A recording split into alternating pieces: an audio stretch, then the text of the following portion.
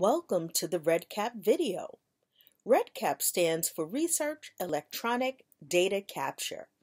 In this video, you will go through the steps of creating a new project, review the follow-up survey, and know where to go for additional help and support.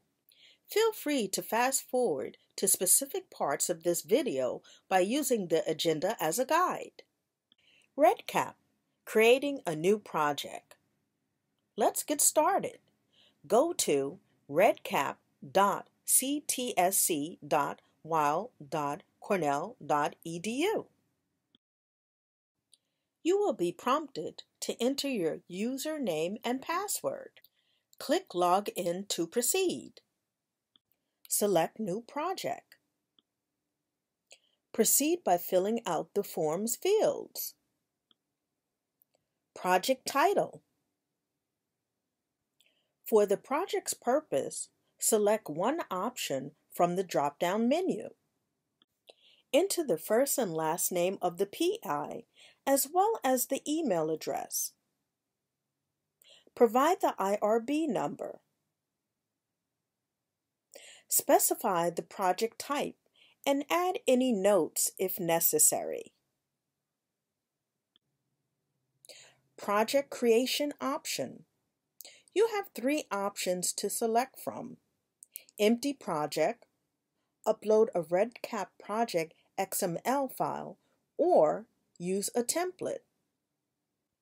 In this example, I'm going to keep the project creation on empty project and then click Create Project. You will then need to complete some survey questions. A detailed project summary must be at least 500 characters in length.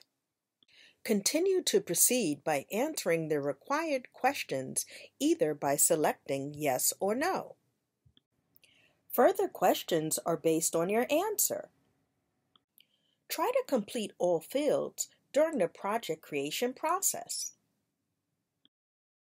You will then need to indicate if this is an investigator initiated or industry initiated research study. Note the terms of usage and complete the remaining questions. Then click Submit. You will then see a message indicating that your new REDCap project has been created and is ready to be accessed. Note, if you need to create a project which is non-research related, make sure to select the appropriate choice from the drop-down menu.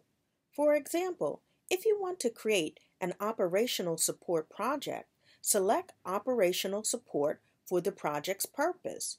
Proceed by selecting your project creation option. A day after completing the creation of your new project, you will receive an email with a survey link. Click the survey link and fill out the additional questions.